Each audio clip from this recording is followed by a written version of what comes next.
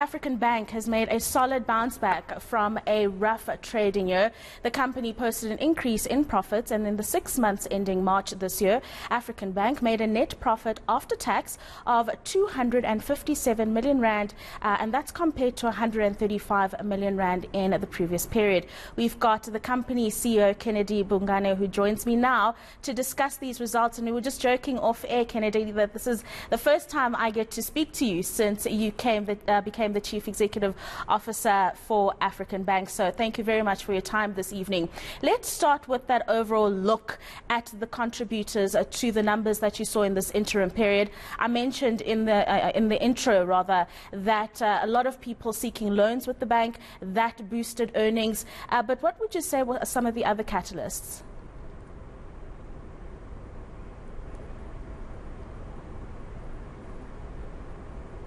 It looks like uh, his picture froze. Oh man, I don't know if he got nervous that he was speaking uh, with me.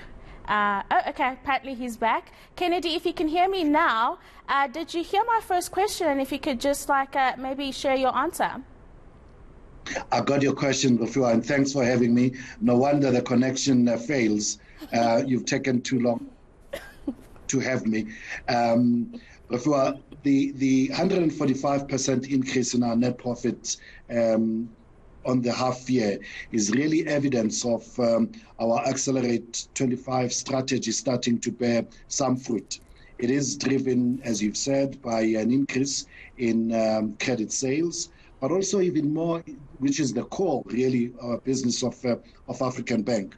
But more impressive for me is that, uh, in line with Accelerate 25, where we are looking to um, expand the core of African Bank and diversify its business. Um, we've seen here over 76% increase in the take up of our MyWorld transactional bank accounts. This, of course, indicating that we are making steady progress in becoming not just a lender, but a fully fledged retail bank. No, absolutely. And that was going to be the other point I was going to touch on, Kennedy. Uh, we did see a huge increase in retail depositors uh, for the bank in the period. Um, and that does, what do you think that says about the health of the consumer and also the product offering that African Bank is putting out there for consumers?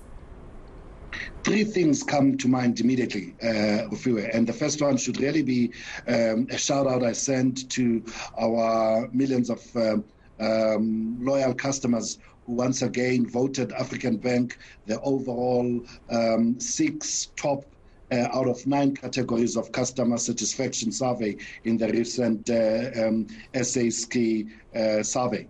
Um, this is a huge statement when your customers are saying uh, they're happy with um, uh, their experiencing of you and what you're doing to them. This is license for us if we were to hopefully do more with our customers and, and really get a much better share of their wallet beyond just lending services. We, we, we've got a winning proposition in a transactional banking MyWorld account.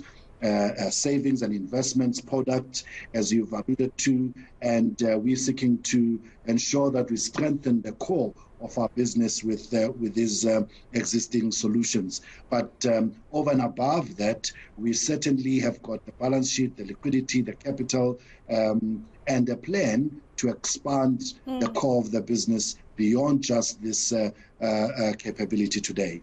Mm, I just want to direct our conversation more towards the consumer.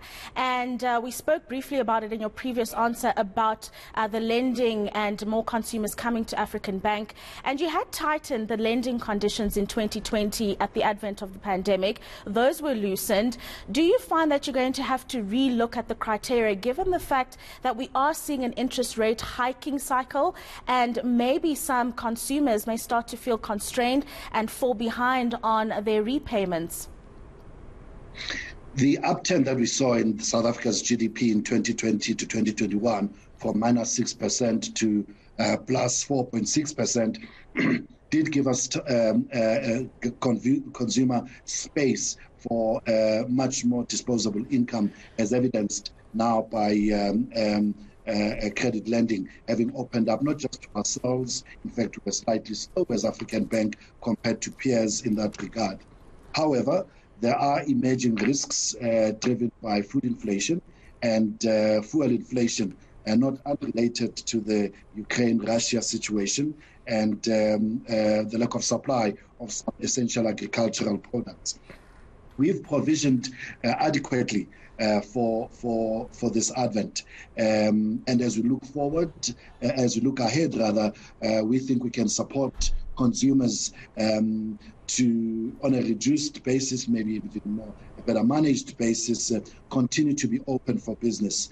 Uh, I think as South Africans, we are lucky that uh, unlike um, monetary policy in some of the large countries where at the very first sign of inflationary pressures interest rates are now at some 40 year highs. Mm. You know, if you look at some of the major economies.